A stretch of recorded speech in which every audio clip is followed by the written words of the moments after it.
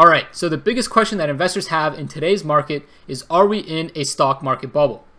Now that is the question I've been trying to find the answer to for the last two weeks, and the way I've been going about it is by researching past stock market manias that have led to stock market collapses in order to extract out some commonalities across all of those stories to assess whether we are in a stock market bubble today. So in this video, I'm going to be covering three past stock market manias the first is going to be the 1720s South Sea Scheme, which led to a huge boom and bust in England's economy in the 1720s. The railway mania that happened in England in 1845, and the 1929 Great Depression. I'm going to be laying out the story for all of these market manias, and I'm going to be extracting out of each of them some commonalities that we can use to identify what it means to be in a stock market bubble. Now, I got most of my information from this book right here, Devil Take the Hindmost. So if any of you are interested in learning more about stock market speculation and how this leads to bubbles, you should absolutely read this book. You can find the link to it in the description down below. And now, if you want to skip ahead to any market bubbles that you might be more interested in, you can find the timestamps for each section in the description down below. So with that, let's get started.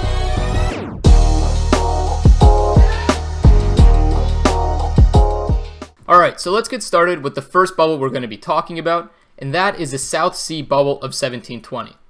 Now, I thought that this bubble was the most interesting out of all the bubbles I learned about, and the reason why is because it carries the same characteristics as the rest of the bubbles we're going to be talking about, but it happened in just 9 months.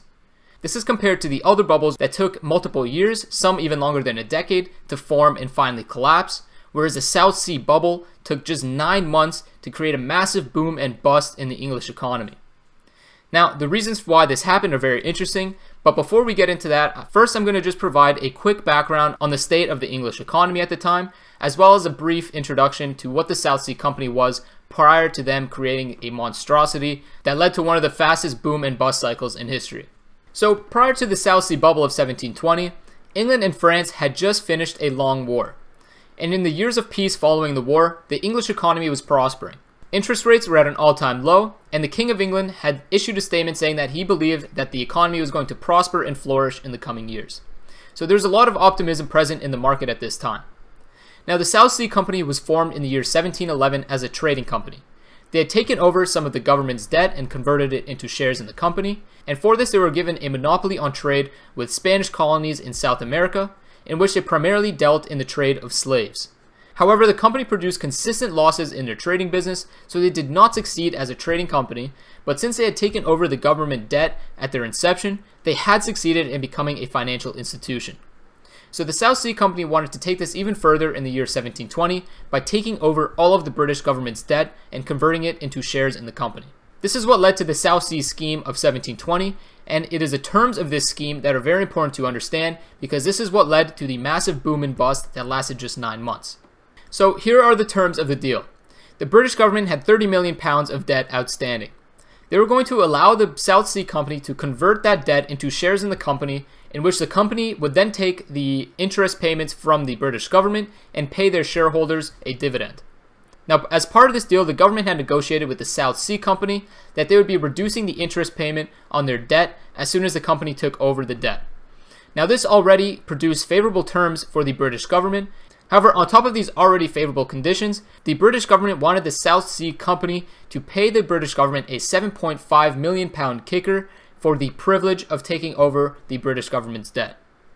Clearly, this was some sort of bribe to allow the South Sea Company to take over the debt in the first place, as the British government was already receiving favorable terms from this deal, so this additional 7.5 million pounds was clearly going to be going to pay off somebody to allow this deal to happen in the first place. So that is the first red flag of this scheme. The second is the more important red flag because this was the fatal flaw that allowed the South Sea bubble to occur in the first place and is what led to the massive boom and bust in the English economy and that was the introduction of a cyclical element to the pricing of the shares of South Sea stock. So the British government was going to allow the South Sea Company to issue 315,000 shares at a par value of 100 British pounds. This allowed them to issue 31.5 million pounds worth of South Sea Company shares in order to convert that 30 million pounds of British government debt. However, this didn't give them the additional money to pay off that 7.5 million pound kicker. So this means that the South Sea Company was going to have to issue the shares at a premium in order to generate that additional cash to pay off this bribe that they were going to be paying to the British government. So the South Sea Company realized if they were able to sell their shares at a premium to the current debt holders, they would then be able to reserve a number of shares that they could then further sell to the market at an even higher premium to generate profits for the company, thus warranting an even higher share price. And when the share price goes up, that means that the company can issue more shares for a profit, so the value of the company goes up, and so on and so forth. And this created a cyclical element to the pricing of South Sea Company shares, which is what led to the ultimate boom and bust in the British economy.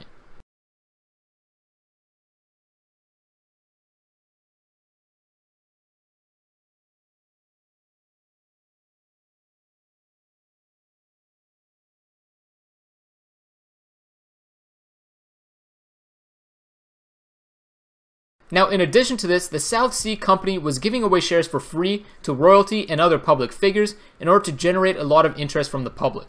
So, in addition to the bribe that the British government was taking from the South Sea Company, they had introduced an element of cyclicality, which is a fatal flaw in most economic bubbles.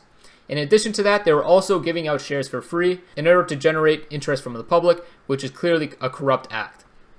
So, there were a lot of problems with the South Sea scheme right from the beginning but that didn't stop this bubble from forming. Now, this deal was proposed to Parliament on January 21st, and by February, the company's stock had already risen from 128 pounds per share to 187, and by April, the stock price was trading at above 300 pounds per share.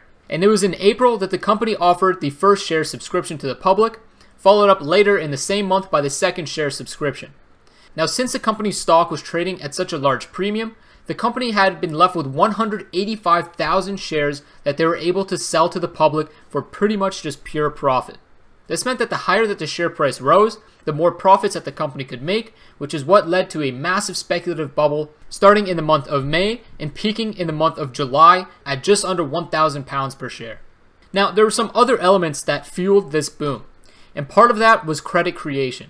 Much like a bank creates money by giving out loans to its customers, the South Sea Company was creating money by giving out loans to people who wanted to buy their stock. So if somebody wanted to buy a share of the South Sea Company, they only had to put up 20% of the share's value, and the South Sea Company would provide you a loan worth 80% of the share price, and you would have to pay back that loan over 8 installments over the next 16 months. So not only had the South Sea Company introduced an element of cyclicality in the pricing of their shares, they were also creating money so that people could buy more shares of South Sea stock.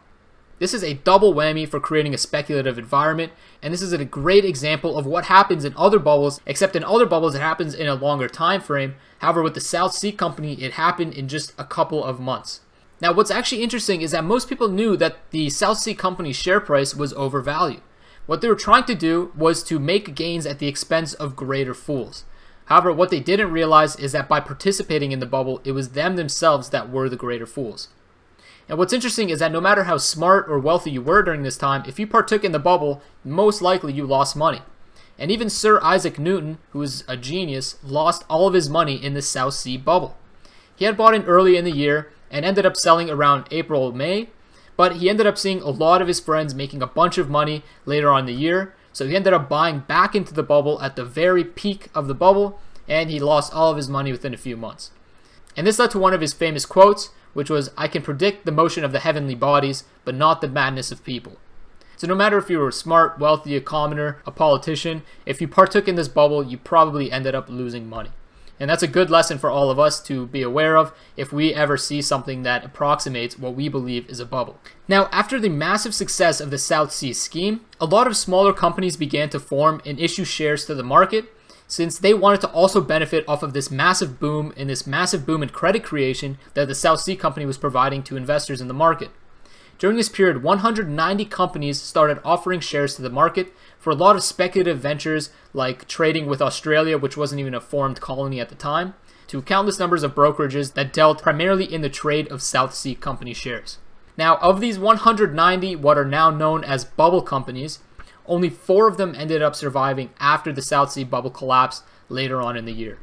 So that just shows you that one extremely successful speculation can just branch off into a bunch of smaller speculations and what is actually funny about this bubble is that the leader of the South Sea Company, John Blunt, is the guy who pricked the bubble and caused the eventual collapse of the stock market in Britain.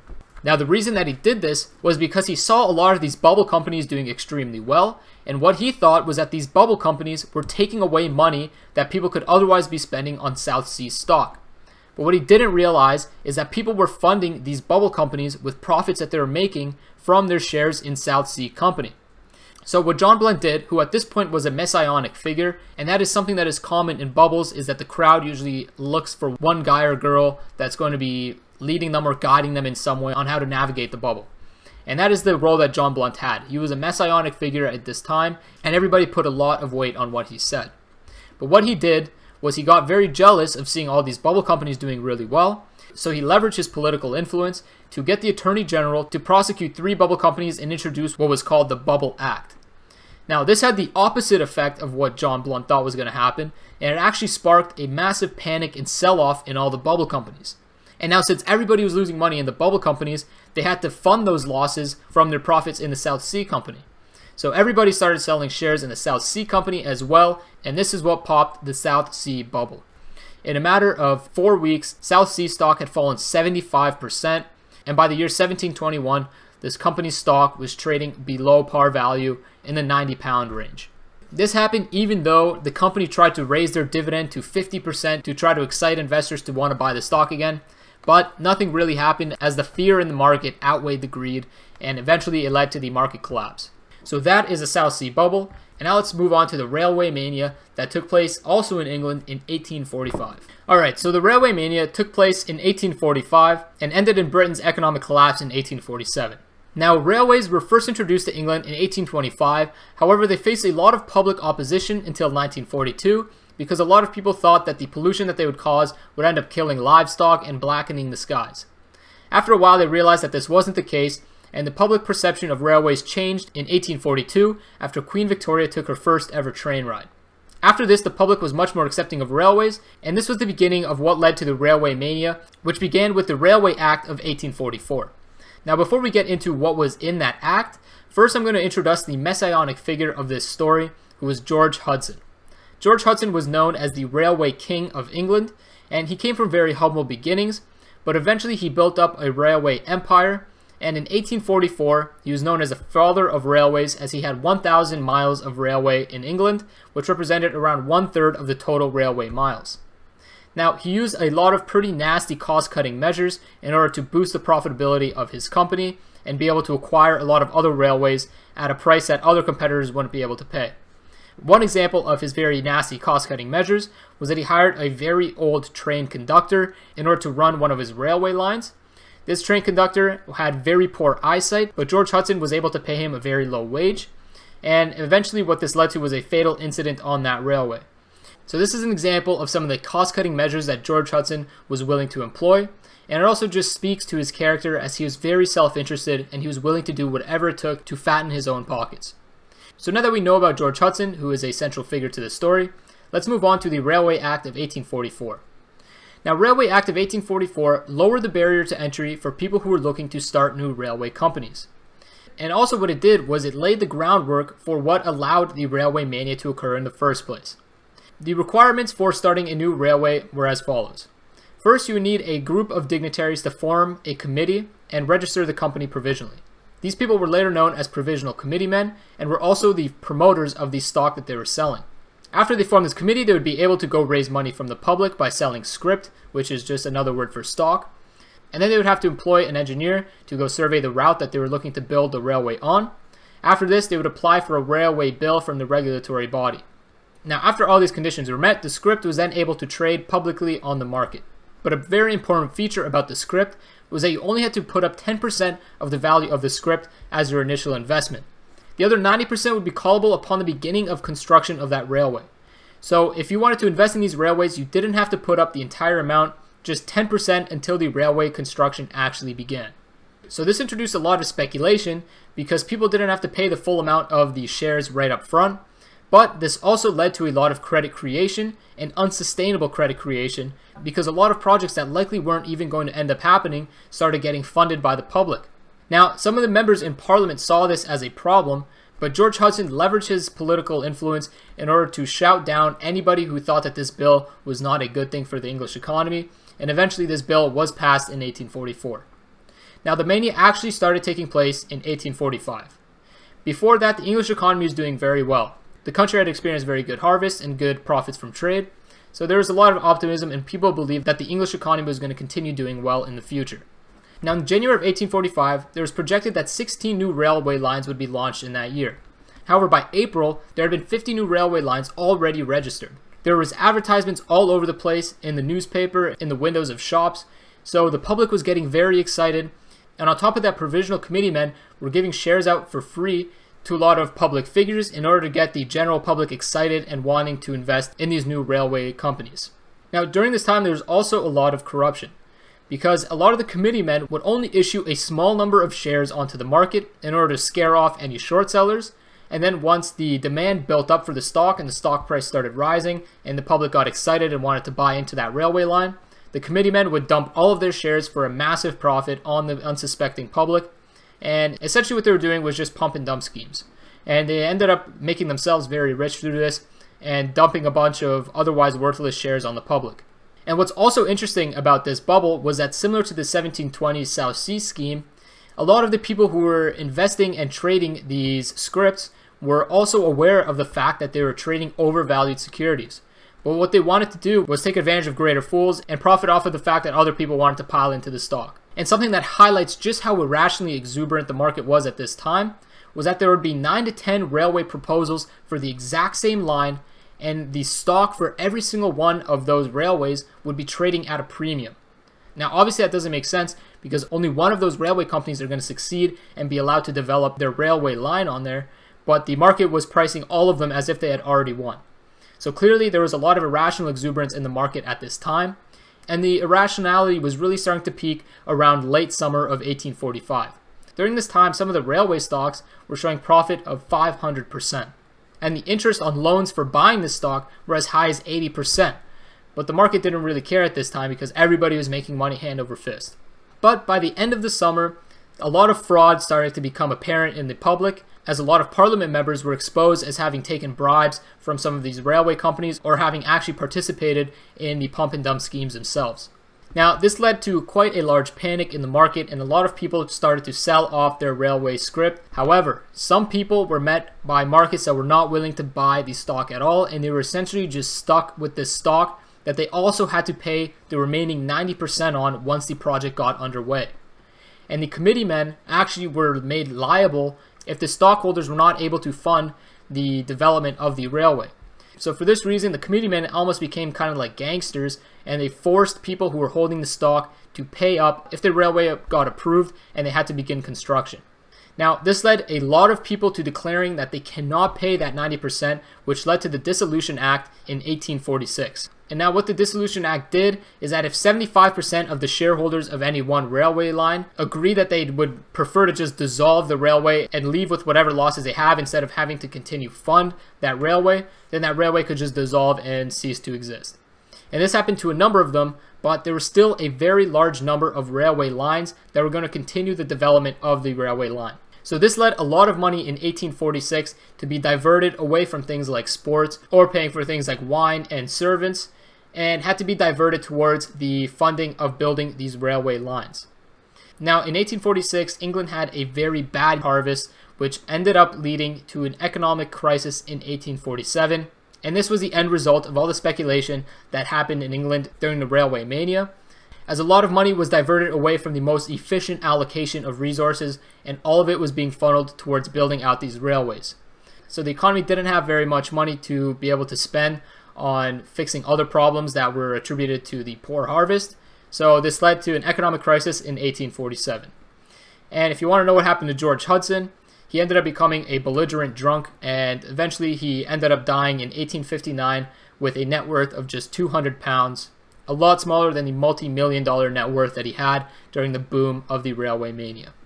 So that was the railway mania. Now let's move into the final bubble we're going to be talking about, which is the Great Depression of 1929. Alright, so the Great Depression, since it was only around 90 years ago, still happens to be one of the most commonly cited economic events for investors today. And for that reason, a lot of investors know a little bit more about the Great Depression than they do the other speculative bubbles that we talked about in this video. But I'm going to talk about the key factors that led to the massive boom and bust in the US economy during the 1920s. And now this is primarily due to two primary innovations.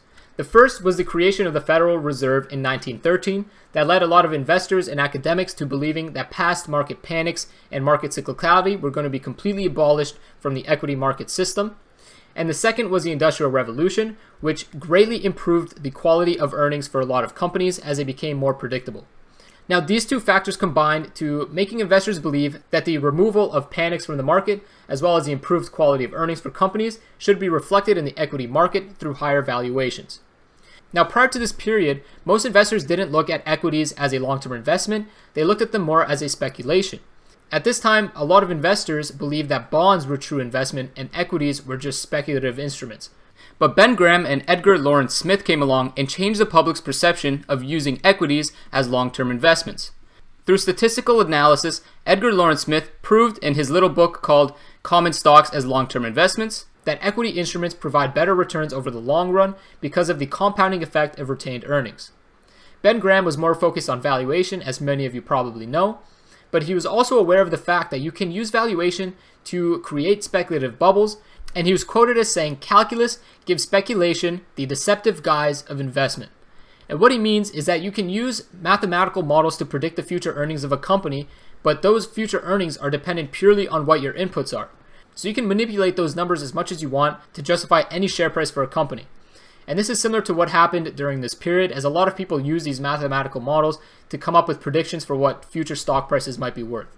So these are a few important factors that you need to note that led to the excessive speculation that occurred in the 1920s. Now, in addition to this, what became very common during this period was that companies would provide customers with installment loans, which essentially acted as credit.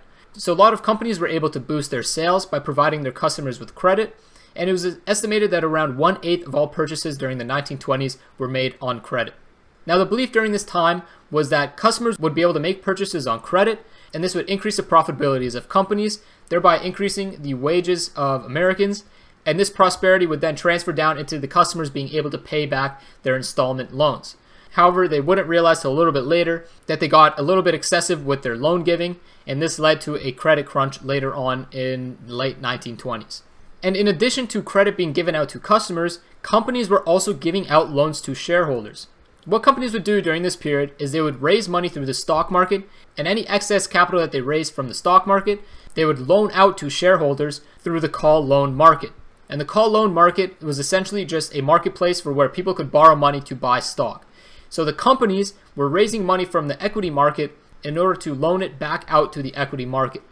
So this led to a massive credit creation phase, and it was fueled also by the belief that market panics were eliminated and that the quality of companies' earnings warranted excessively high valuations.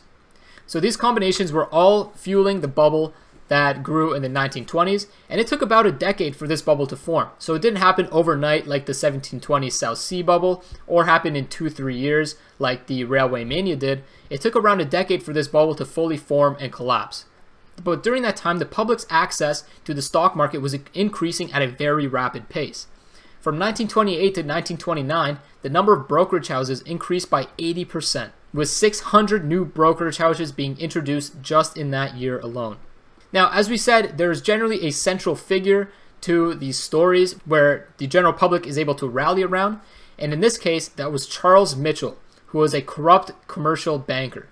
Now, at this time, commercial banks weren't allowed to deal in securities, they weren't allowed to sell securities to their clients, so what Charles Mitchell did is that he invested in a bunch of subsidiaries that were the ones that were dealing in the stock. And what he would do is he would peddle second-rate securities to the general public. And actually, the peddling of second-rate securities to the general public became known as Mitchellism. And eventually, he ended up betting all of his money on the market in the late cycle of the market bubble, and he ended up losing all of his money, which is pretty fitting for a guy who's doing what he was doing. But now on top of messianic figures like Charles Mitchell, the market was also being fueled by a lot of speculation from the billionaires of that time. And during that period, a lot of the billionaires were people who started automotive companies like the founder of GM or the Chrysler. And what these investors would do is they would form small pools of investors and they would essentially manipulate the stock price to increase their gains. So clearly there was a lot of fraud and corruption going on during this period, and that is what fueled a lot of the speculation in the market because the public was seeing a lot of these billionaires making a lot of money in the market. So they also wanted to participate in the market and make money just like them. And now a lot of this prosperous growth was also fueled by new innovations like the car that was replacing railways and also the radio that was transforming the way that humans were able to communicate. So there were a lot of actually really important innovations that came during this period, but all that they did was serve to fuel the bubble that continued to grow into the late 1920s. Now during this time, investment trusts, which you can think of similar to mutual funds today, became very, very popular. And they started managing very large sums of money.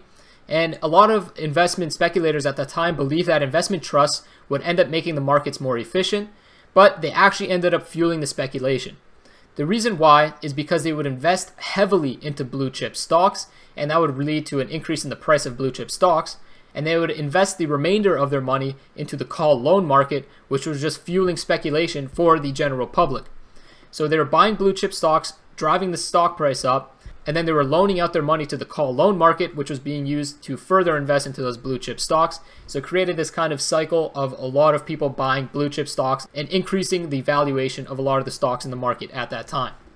By the time the market was peaking, a lot of stocks were trading at price to earnings ratios well above 100, and this became common as a lot of companies had price to earnings ratios in the high 10s or low 100s, and this was just what was believed was going to be the new norm for the stock market which sounds a little bit scarily similar to what is going on in today's market, but we're going to get into that at the end, where we extract the commonalities from these three stories and try to apply them to the market today.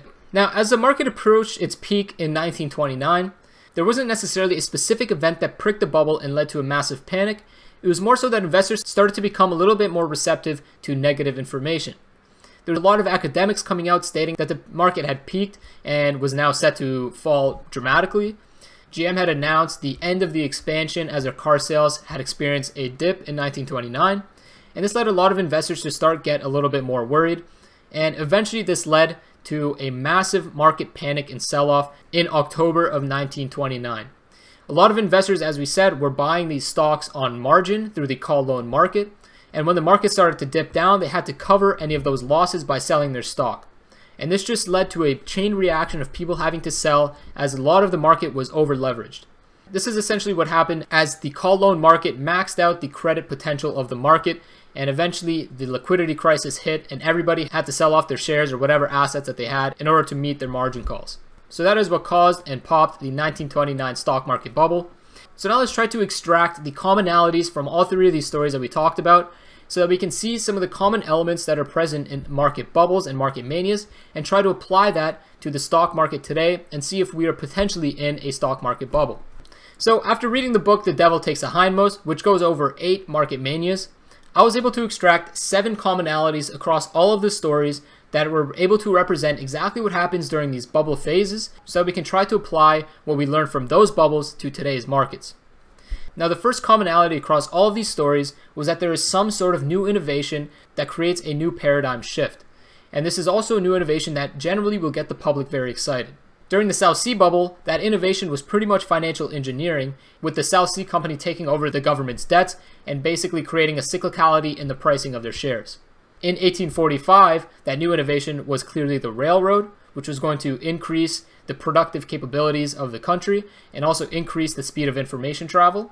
And in 1929, the innovation was the introduction of the Federal Reserve and also the Industrial Revolution, which improved the earnings qualities of a lot of companies.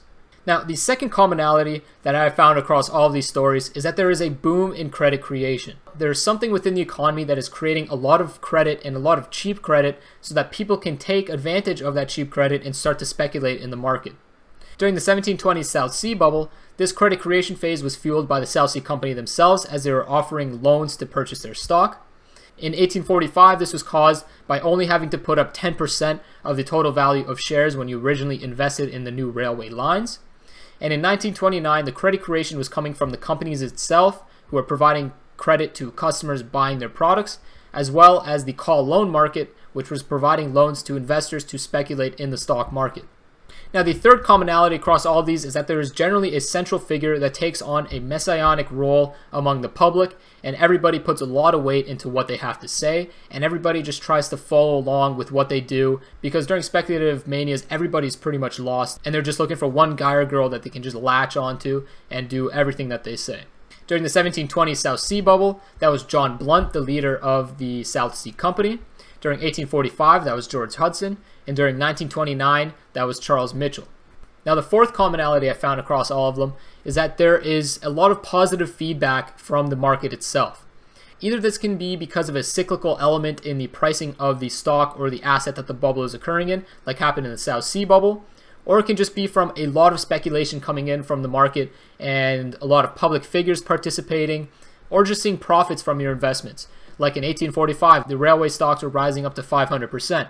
Or in 1929, the stock market was rising three times faster than corporate earnings were rising.